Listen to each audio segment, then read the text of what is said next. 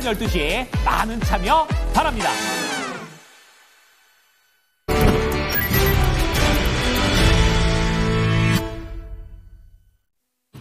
이어서 마감의 정석 시간입니다. 토마토 투자 자문의 김정수 운용역 만나보겠습니다. 안녕하세요.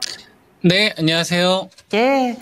종목별로는 뭐 전문가님 말씀해주신 뭐 반대매도 좀 나오는 것 같고요. 요즘 좀 들썩이는 상황인데요. 한 주가 이렇게 마무리가 됐습니다. 어떤 점을 좀 주목하시는지 오늘 장도 분석해 주세요. 네, 어, 신용매매와 관련된 이야기를 그동안 많이 말씀 좀 드렸었잖아요. 그 자료도 제가 한번 좀 보여드렸었고, 요게 2,400에서 이제 2,500까지 요 구간. 2,400에서 2,500요 구간에서는 이제 신용 물량이 제일 중요한 키워드였어요. 신용 청산, 그 다음에 반대 매매. 그래서 이거를 어 우리가 그 실전으로 활용하는 방법도 알려드렸고, 그리고 어, 지금 현재 시장에서 이제 화두를 어디에다 두느냐, 내 관점 어디에다 두느냐에 따라서 투자 결정이 좀 다르잖아요. 그래서 이, 이걸 가지고서 이제 주식을 바라보면 대응 전략이 되게 심플하거든요. 뭐 예를 한번 어, 제가 좀 들어볼게요. 자, 오늘 요걸 많이 물어봐요, 사람들이. 알테우젠을 많이 물어봐요. 알테우젠이 그 펩트론하고 같이 뭐 유상증자 이슈도 있었고 그다음에 특허 분쟁 관련된 소송 이슈도 많이 있었잖아요. 저는 여러분들한테 이번에 미리 이야기했어요. 바이오는 어 중심이 이제 대대장이 이제 바뀔 수 있다 해서 이제 위탁 생산 중심으로 삼성 바이오로직스를 이야기했죠. 알테오젠이 아니라 이 이야기 제가 미리 이야기해드렸어요. 그래서 삼성 바이오로직스는 94만 원과 이 88만 원 요것에 이제 bottom을 만드는 과정들이 나와야 되고 셀트리온만 별도로 봐야 되고 그리고 3박 94만 원 안착되면은 바이넥스하고 에스티팜이 꼬리 닿는 형태의 대응 전략을 가져가면 된다. 왜냐면은 어 트럼프라는 이 키워드를 우리가 바이오 제약에 적용을 하게 되면 대중 견제를 하는 데 있어서 이 생물보안법이라는 거는 필요하기 때문에 그죠? 그러면 이제 알테우젠 같은 경우는 아주 오랜 기간 동안 상승을 주도를 했었잖아요. 요게 이제 바뀌는 겁니다. 그동안 그 8월 요때인가요? 어, 8월 요 5일 날 시장의 중심이 바이오로 바뀐 다음에 반도체에서 11월 5일 날 트럼프 당선 이후에 우주항공, 우주항공, 그 다음에 조선주, 조선주, 그 다음에 원전주, 그죠? 그 다음에 전력, 전력보다는 저는 건설 기계 쪽, 그 다음에 원전주 쪽은 이제 더 주목을 해야 될 때가 이제 왔는데요. 이쪽으로 지금 중심이 바뀌어버린 거예요. 미 대선 이후로. 그죠? 그러다가, 어, 테스트를 받았을 거 아니에요. 그래도 난 바이오로 계속 대장 역할을 할 거야. 아니야. 이제 트럼프와 머스크 시대가 도래했어. 이쪽으로 나는 돈이 쏠린 상태에서, 어? 내가 새로 너의 힘을 가져갈 거야. 그죠? 그리고 이제 배터리나 반도체나 이제 자동차나 이런 주식들, 그다음에 중국 소비주들 같은 이런 주식들 뒤에서 support 정도 해주는 수준이다라는 거죠. 이렇게 시장이 본 게임에 참여하기보다는. 그러니까 이쪽에 자금이 적은 거예요. 그러니까 여기서 수익 낼 수 있는 방법은 반대 매매나 신용 청산을 유발시켜서 돈을 버는 게 투자 주체들이 유리하죠. 그 사람들이 먹고 살려면은 금융기관들이 먹고 살려면 그런 식으로 아마 포지션을 구축을 해놔야 될 거예요. 신규 자금이 제한적으로 들어올 거 아니에요. 그럼 그런 식으로 그 사람들 돈 벌거든요. 그걸 이제 우리는 역으로 이용하자는 전략을 제가 제시해드렸던 거고. 그래서 2,400에서 이제 2,500 이 시종 물량이 나오는 건 제가 잘 보여드렸기 때문에 이제 더 안 보여드리겠습니다. 아주 이제 중요할 때 아니라면 지금은 이제 2,500에서는 그거 안 중요하거든요.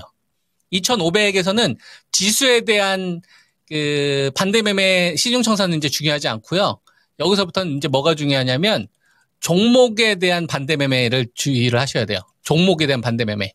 요새 주식 좀 많이 이런 흐름들 많이 나오고 있는데 어 앞으로 어떤 흐름이 나올 거냐면 그동안에는 좀 이격 조율하는 흐름이 나왔어요. 어, 예를 들어서 뭐 하이닉스가 좀 올라가면 삼성전자가 좀 빠지고 삼성전자 올라가면 하이닉스가 좀 빠지고 이런 식으로 LG 에너지 솔루션이 올라가면 반도체가 조금 올라오고 LG 에너지이 좀 빠지면은 뭐 자동차 좀 올라 이런 식으로 이렇게 이격을 맞추는 흐름이 나왔었거든요. 그리고 바이오 같은 경우도 마찬가지였죠. 알테오젠이 가면 리가캠이나 ABL이 좀 따라오고 삼바가 좀 눌리면은 나머지 바이넥스 에스티팜이 좀 빠지고 이런 식의 흐름.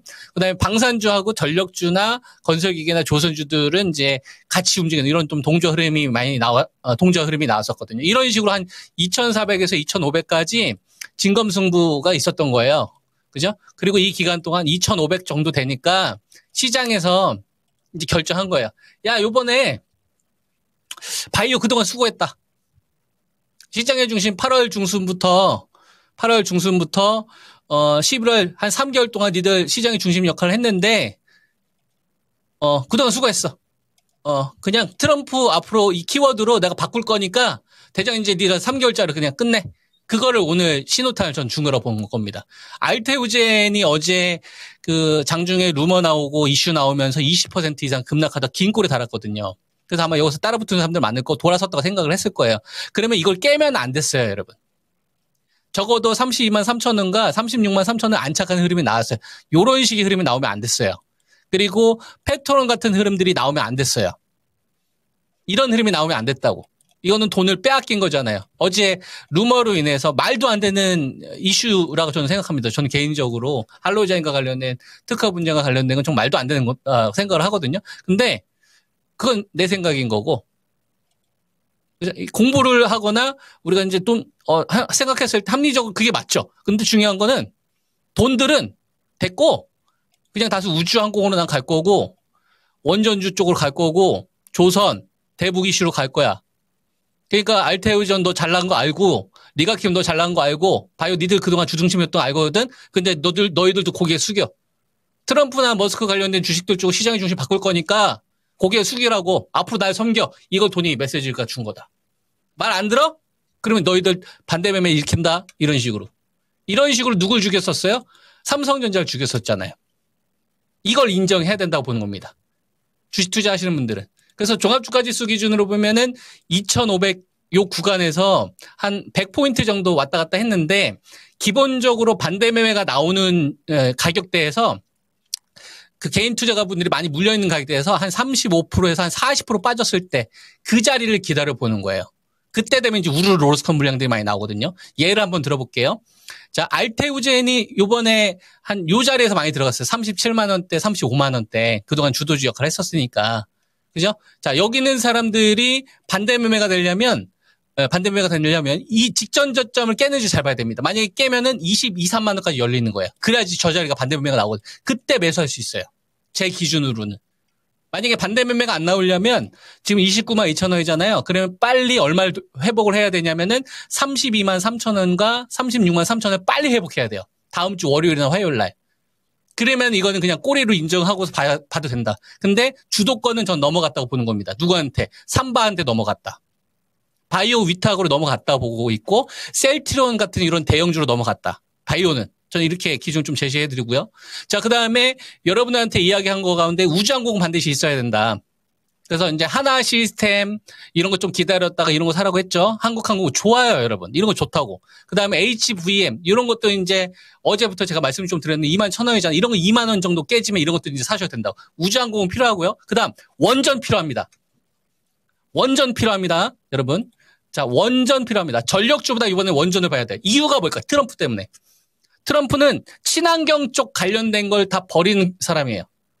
친환경이 말고 전통적인 이 에너지 그러면서 물가를 잡기 위한 액션을 취해야 돼. 근데 전력 부족해가지고 지금 물가를 잡을 수가 없잖아요.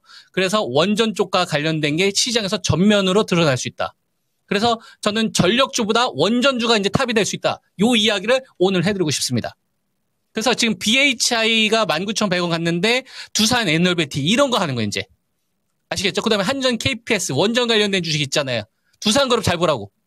시장의 중심이 바뀐 거예요, 여러분. 오늘 쾅쾅쾅 때린 거라고. 나한테 수능이 안 그래? 그럼 너희도 반대 매매야? 이런 식으로. 반대 매매 안 나오면은 낙폭과대 기술 반등 나올 수 있는데 주류는 바뀐 거야. 여러분들 배터리 기억나죠? 어, 배터리 2년 동안 한번 에코프로 한 어? 주도주에서 한번 탈락한 다음에 2년 3년 동안 줄기차게 하락한 거 보였죠? 이런 흐름이 나올 수 있다고. 그러니까 정신 똑바로 차리고 시장의 중심 우뚝 서라고. 그다음에 건설 기계 쪽 현대 건설 기계 여러분한테 추천드렸는데 요거하고 현대다임 현대 에버다임 위주로 하시면 돼요. 그다음에 조선주는 현대중공업하고 현대 마린 솔루션인데 현대 미포조선 요런 것도 이제 좀 눌릴 때 잘 보세요. 아시겠죠? 그러면은 조선주, 건설기계, 원전주를 이제 꼭 잡자. 이야기를 오늘 강조하고 싶은 거고 우주항공 쪽 가지고 계신 분들은 그대로 구하거나 눌리면 더 살아. 그 다음에 바이오는 대장이 바뀌었다. 뭐로? 시밀러 위탁 생산으로. 삼바 셀트론 위주로 보셔라. 그리고 이제 알테우제는 반대 매매가 나올지 안 나올지는 직전 저점을 깨지는지 여부에 따라서 제가 오늘 말씀드린 전략을 참고하시고요. 배터리는 LG 에너지 솔루션 39만 5천 원과 40만 5천 원 안착되는 흐름 나왔죠. 다음 주 이거 넘어가는지 보세요. 이거 넘어가면 직전 고점 이거 넘어가면 나머지 배터리들이 따라오는지를 우리가 보면 되거든요.